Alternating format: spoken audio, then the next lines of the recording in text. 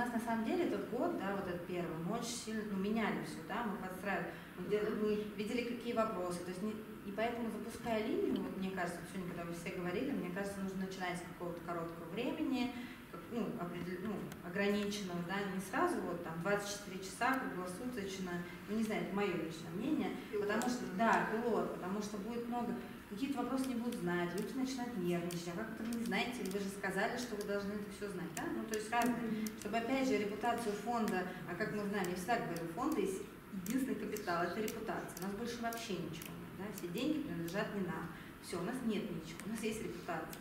Поэтому это тоже важный вопрос, и мы подстраивали. Какие-то вопросы не знали, да, какие будут.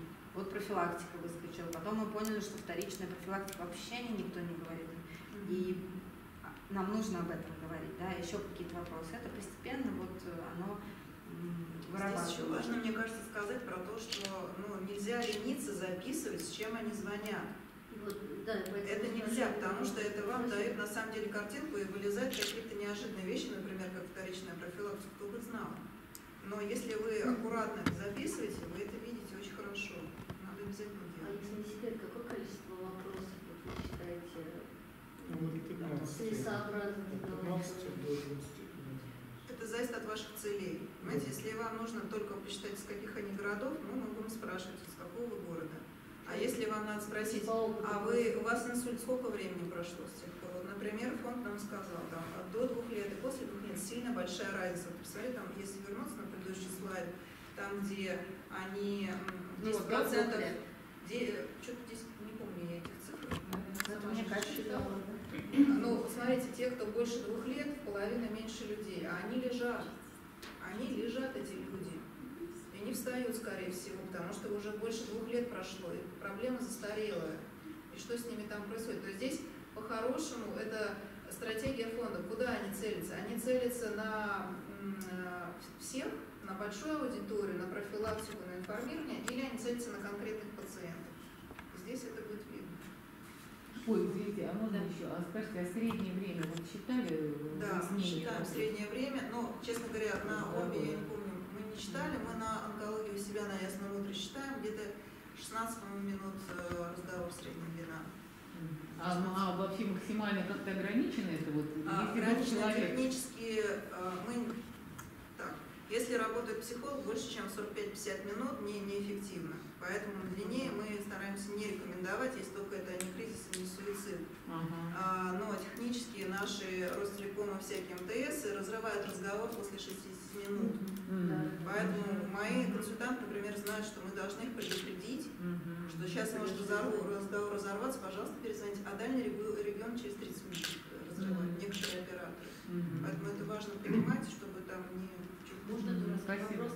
Не дурацкий, на самом деле очень такой специфический. По типам запросов вы говорите, а, вот я, я же слушаю разговоры, перезвоните, вот давайте мы сейчас решим самую острую проблему, а вот с этими вопросами, как быть дальше, вы перезвоните, вот успокойтесь, и завтра мы бесплатные, мы вам всегда ответим, наберете. Вот у нас, например, обезболивание, вот сейчас вы обезболиваетесь, а дальше вы решите, куда, э, к какому специалисту обращаетесь, вы что-то практикуете, да, на Ну, у нас, Ну, это мы, это мы фокусировка запроса, да. То есть, если к нам звонит человек, «А, и юрист ему, и вообще там, и купить дом, и я не знаю, что еще, Да, чтобы ему милиция приехала, все сразу, да. Мы все равно, телефон это очень ограниченная вещь, мы находимся далеко.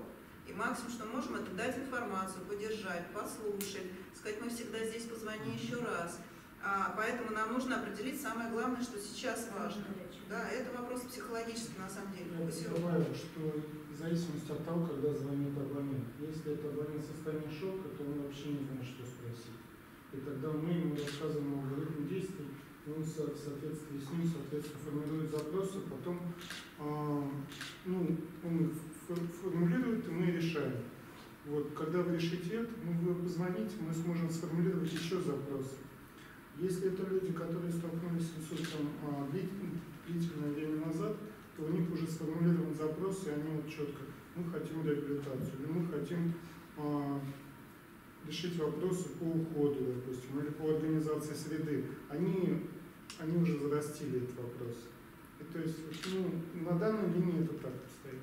Люди с пункте запросами не часто Мы звонят. фокусируем, называется Да. И Что самое Что главное? еще я могу сказать про свой опыт да, работы с линией? Удивил возраст да, звонящих, что у нас больше всего звонков, это 31-40. Мне казалось, что это будут только пожилые люди нам звонить, потому что ну, только они же звонят на телефону, да, но мы не берем, э, когда обезболивание, у вас все-таки совсем пиковое, да, это как 9, вы как 0,3 по большому счету. для этих людей. 112, 03. Да, у нас немножко другая ситуация, в принципе, да, 0,3 все-таки отдельно, да, и первее, чем мы. Вот. А, И поэтому я думала, что будут звонить взрослые пожилые люди, оказалось, что звонят очень даже молодые люди. Вот, и что телефон для них, конечно, и потом я начала это анализировать, но это мое мнение, что да, в интернете очень много информации просто, да, и ты Ну, кому тут посмотрел, там, а кому ты, кому верить, да, и Да. когда люди считают тебя уже экспертом, там, фонд, да, знают, например, то они уже просто, может быть, поэтому что доверяют. Подожди, но пользователи интернета какого возраста? Они вот, вот как раз такого возраста есть. Это Ну, так они, родственники тех, могут, кто они же могут в интернете это все прочитать, но они же звонят. Я Вот просто почему. действительно информации очень много. Там понять, э, много. какая из Ну, них. мне так казалось, что ну, молодые люди, они заходят в Google, Это что находят. Как И важно, позвонить легче, да. Позвонить Уже легче. 200 тысяч страниц. Женщинам легче позвонить, мужчинам легче разбираться, поэтому звонят больше женщин. Это просто это же Но здесь, вот смотрите, здесь я хотела прокомментировать, вот это, мне тоже, я была очень удивлена, когда у меня это вылезло, когда это читала эту графику, я хорошо помню. Я думала, о чем это, да? Это, мне кажется, еще о том, что ваша аудитория относительно молодая. Ваши акции, они профилактические, то есть они касаются больше молодежи, чем молодежи. Это дети тех людей, которые слегли. Это пользователи интернета, которым, да, ну, вряд ли за 60, ну, меньше за 60, чем до 60. Поэтому это ну, натуральная штука. Мы сейчас, э, при том, мы, после того, как я начала это считать, мне все-таки не очень нравится, она статистически слишком сильно выбивается эта цифра. Мы сейчас немножко улучшили э, вопрос с возрастом, мы, может быть, уточним ее попозже. Но это про то, а, как вы достаете вашу целевую группу. И вы цельтесь, опять же, цельтесь на всех, цельтесь на пациентов. У нас был такой интересный опыт с онкологией, с нашим номером. Мы связались с одной газетой, которая то ли сельская жизнь, сельская Русь, как-то так она написали. Слушай, они, я говорю, а какой у вас сайт? Дайте посмотреть, что за газета. Слушай, а нету сайта. Я говорю, а как вы живете, если у вас нет сайта? Ну, у нас как подписчики 20 лет нас выписывают в деревнях, так они выписывают. И мы с ними сделали профилактический материал, ну, там материал про онкологические заболевания, что важно там раньше начинать лечиться. Нам была офигенная отдача. Это было как раз за 60. Понимаешь, это те люди, которые интернетом не пользуются. Какая газета? Я не могу... Что что вот 74 тысячи экземпляров, вот они тоже. Да, Она они каждую среду. Даже не выходит. Каждую среду. ну, потому что они Мы сейчас посмотрим, как сработает на нас. Мы сейчас готовим как раз материал по вообще. линиям. Мы сообщим, когда он будет. Спасибо. Вот, но с другой стороны, вот для нас, для меня лично, вот это очень хороший показатель, потому что мы правда очень стараемся рассказать всем о том, что инсульт молодеет и стараемся сфокусироваться на молодых. Я понимаю, что нельзя оставлять пожилых людей, все, но они все-таки ходят к врачам, им как-никак оказывают помощь, что-то рассказывают. Молодежь вообще думает, что это вот со мной будет 90 лет, и еще не факт, что будет. Да? Это как грипп, это у всех. Ну, то есть есть такие мифы, поэтому нам очень хотелось вообще, в принципе, деятельности фонда больше фокусироваться, ну, чтобы вот эти люди нас заметили и нас услышали, скажем так. Поэтому это, в принципе, значит, мы, в общем, идем по правильному. А еще можно Да. вот по графику? Да. А, а вот э, та статистика, которую вы приводите, это уникальные абоненты, которые звонят?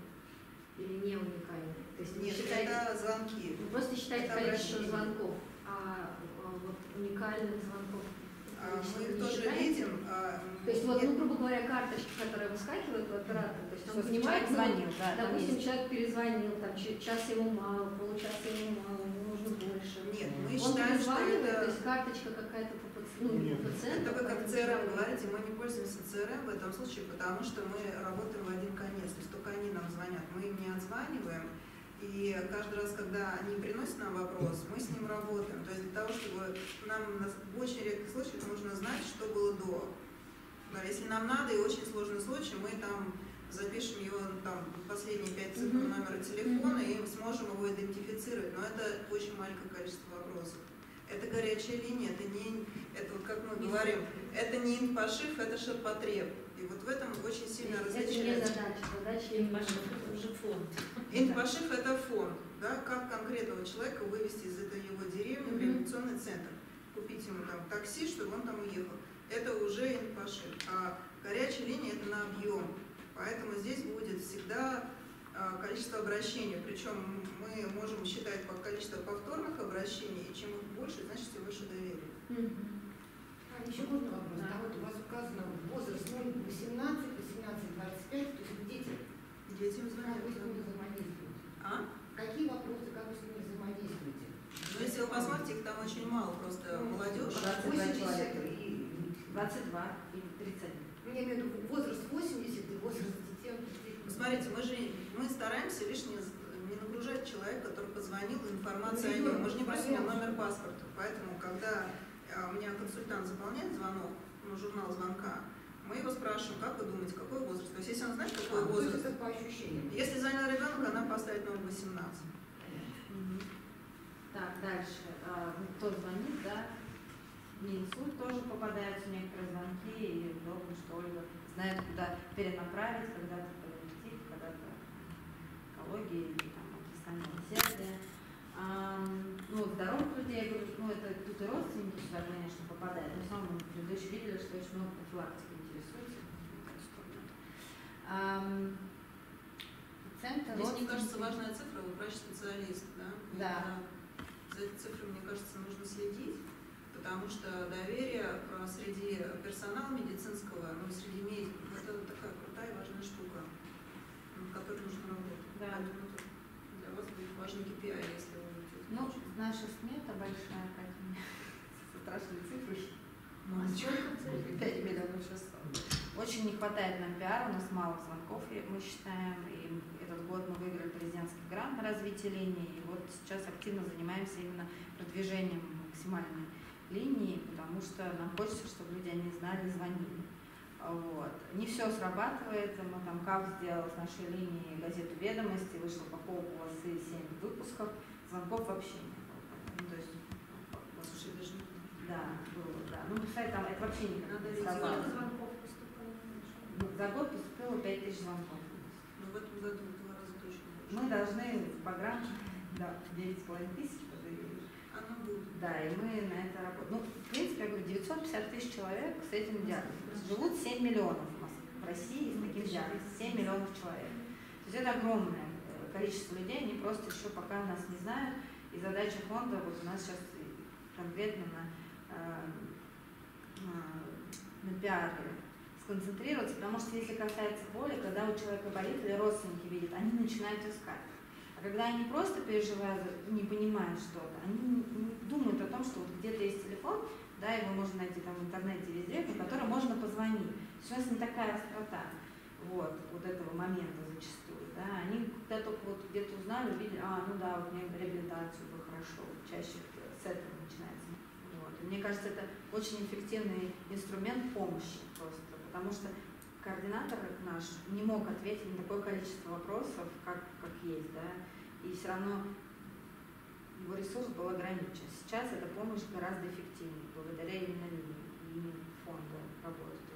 Акции, мероприятия, то есть ее можно использовать не только вот очень узко. То есть надо смотреть на это шире, и это мы поняли только за этот год. То есть изначально у нас такого не было плана. Теперь мы стараемся на все наши акции, какую-то информацию давать операторам, а скажите вот это, да, это всегда это очень гибкий момент, что, что можно э, доносить до людей. Вообще все, что угодно, все, что вы хотите, вы можете доносить до людей. Про социальные изменения теперь спрашиваю. Ну, как ты замечаешь, в обществе меняется что-то по отношению, например, к фонду, потому что есть горячая линия, или в отношениях где-то там про консульта, например. Вот Да, ну, мне кажется, просто линия, это все возникает мнение, что какой-то эксперт, какой-то эксперт, если есть фонд и линия, если есть специалисты, особенно если там медики есть на линии, то это вообще сразу значит очень, очень правильная линия, на которой есть медики. Вот. Ну, конечно, мы не отвечаем на вопросы лечения, а вот еще какой вопрос мне сегодня удивил, когда я смотрела статистику, мы, кстати, обсуждали с координатором нашим, а, что люди часто звонят и приходят к врачу просто разъяснить диагноз. Они вообще не понимают вообще, что с ними произошло. С ними даже в больнице никто не... У вас инсульт. Пейте там таблетки, мы вам МРТ, то сделай, все, домой. На 14 дней. Тоже желательно. Даже 21 сейчас не держит. И все. И человек даже не понимает, а что произошло, какие-то последствия, почему он помнил все, не помню только алфавит, например. Почему-то. Ну, то есть очень часто же люди вообще думают, что это не факт. Вот. 80% людей, даже очень образованных, которым я говорю, что я занимаюсь инсультом, мне говорят, а, ну это сердце. Нет, это сердце, это А еще и называется сердечно-сосудистые ну заболевания. и сердечно-сосудистые, да, туда же, вот. А, ну и по поводу социальных эффектов, для меня, для нас важны любые каналы продвижения симптомов инсульта и все, что связано с профилактикой, помимо помощи родственникам и всего остального. Поэтому это еще один очень эффективный канал, чтобы людям еще раз напомнить, вы знаете симптомы инсульта, а если знаете, какие они симптомы инсульта, да? И опять же, поскольку мы себе даже на стратегической сессии поставили такой план по тому, сколько людей в России должны знать симптомы инсульта, то для нас потом это будет возможность э, линии, например, спрашивать, вы знаете симптомы инсульта, а какие они, да? И мы можем так собрать статистику. Мы уже сегодня все включили. Вот. Еще опрос.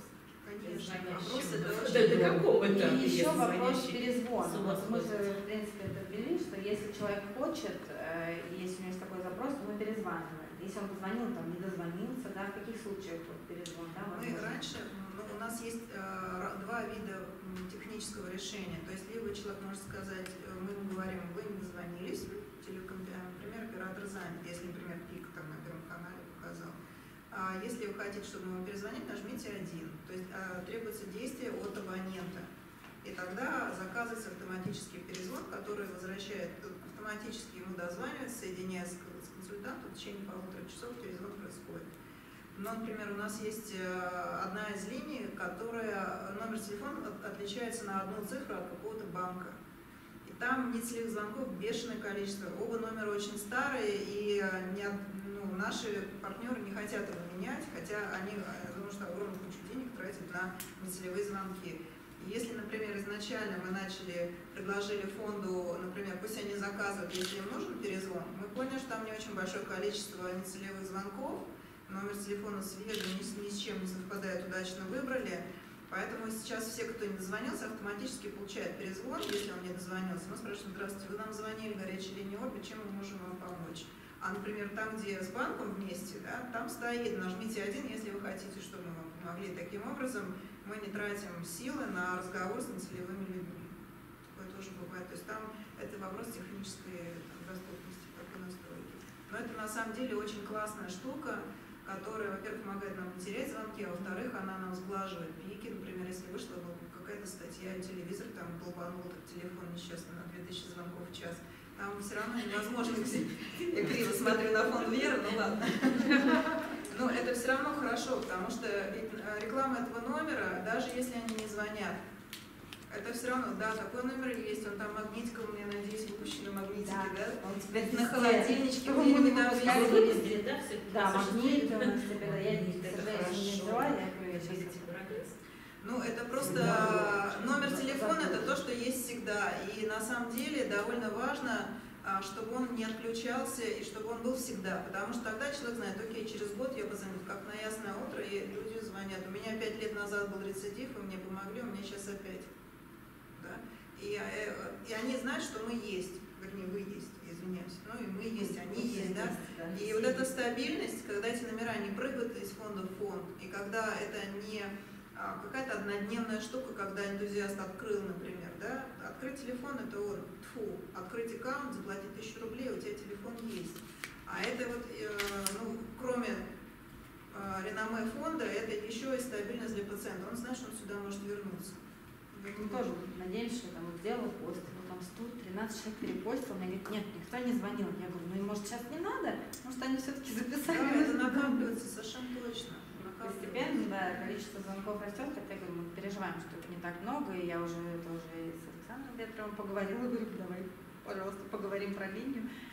Напомним, мы уже говорили, но все-таки надо людям напоминать как-то и максимально я говорю, распространять эту информацию и фондом друг о друге, потому что все равно люди звонят очень часто и а, ошибаются, там, путают, и всё равно Ну, то, что надо знать, куда их отправить, э, в том числе на чужие линии